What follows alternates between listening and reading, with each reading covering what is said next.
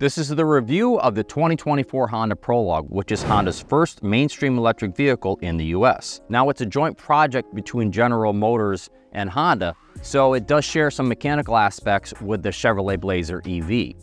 The Prologue is a mid-size two-row SUV, and it's available in either front-wheel drive or all-wheel drive. Both versions share an 85 kilowatt hour battery pack. Front-wheel drive models have 212 horsepower, and all-wheel drive dual motor versions have 288 horsepower like the one we have here. So that's the powertrain, but the big question with the EVs is, what's the driving range? And actually, it's not too bad for the Prologue.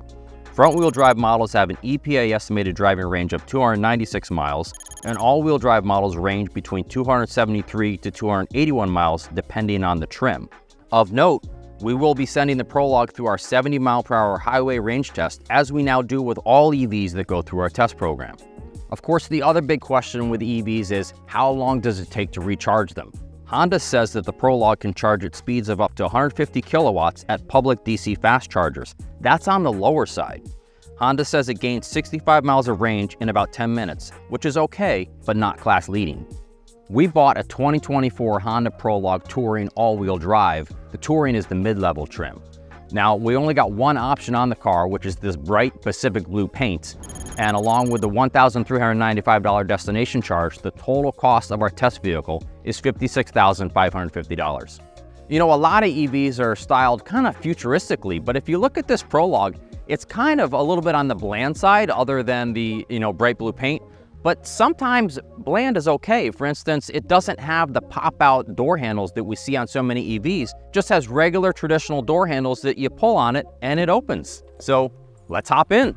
Kind of similar to the outside, the inside doesn't shock you with a bunch of futuristic styling. It doesn't have a giant screen that goes across the dash. It isn't filled with a whole bunch of touch controls. Instead, uh, Honda has these really nice uh, physical climate controls, physical temperature knobs. You know, we really like when climate controls are on our physical in, in buttons and knobs rather than on a touch panel, which is much harder to press while you're driving. But there are some GM parts bin pieces. For instance, this steering wheel seems the same as the Chevrolet Blazer EV. These stalks, the gear selector and the windshield wipers and the turn signals are all right from the GM parts bin. So some of the interior materials come across a little on the cheap side, whether you're looking at it from a $56,000 vehicle standpoint or for a Honda, like take the center console. It's just flat black plastic, has no texturing, no soft pieces, uh, no stitching, and in general, there isn't a lot of stitching throughout the cabin whatsoever. There's a little bit here on the center armrest. And then speaking of the center armrest, it's just kind of a little bit flimsy in the way it feels and there's no lining inside whatsoever. Same thing with the glove box, it's totally unlined. But then on the other hand, we really appreciate just how nicely uh, done these climate controls are. When you turn these temp knobs, they have wonderful detents, so it's very easy to turn just uh, one degree. Same thing when you press on these buttons, whether it's for the fan speed or the seat heaters, they just have a really nice damped feel to them that feels of high quality.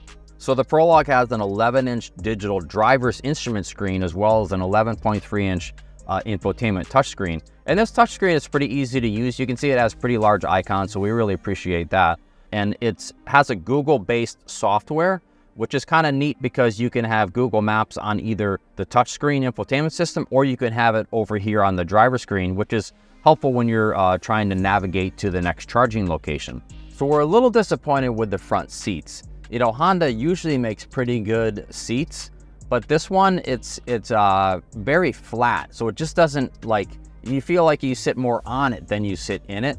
And especially the bottom cushion really lacks any side support. So it means your legs kind of feel like there's nothing, you know, no bolstering keeping them from splaying out to the sides.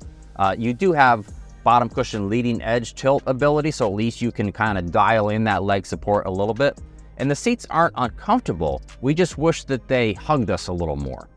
Kind of like the seats up front, the seats in the rear are again very flat, so they just don't offer that much support. Headroom is actually kind of tight, but that's in part because the touring trim that we got comes standard with a giant sunroof, which typically does cut down on headroom. Leg support isn't too bad, but the seat would benefit from being a little higher off the floor and maybe a little more rearward rake of the bottom cushion. There's a decent amount of space behind the second row seats, and we appreciate that it has a flush load floor, which really makes it much easier when you're taking items back out of the car. There's a fair amount of space underneath the cargo floor, including a really deep well here that you can store some stuff, so we like seeing that. Obviously, it's an SUV, so you can drop the second row seats down, but keep in mind it's not a fully flat load floor like we often see in SUVs. There's a little bit of a ramping up toward the front seats, which is just gonna compromise how tall of items you can put all the way in. So let's hit the road and see what the Honda Prologue is all about.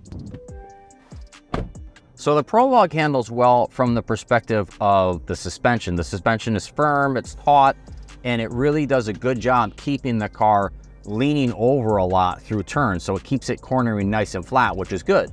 The Prologue suspension is reasonably compliant most of the time, it's benefiting partially from the fact that it has reasonably sized wheels and tires. They're just 19 inches. On the highway, you will feel some tenseness in situations that you might not in other vehicles, but it's still pretty good for the most part.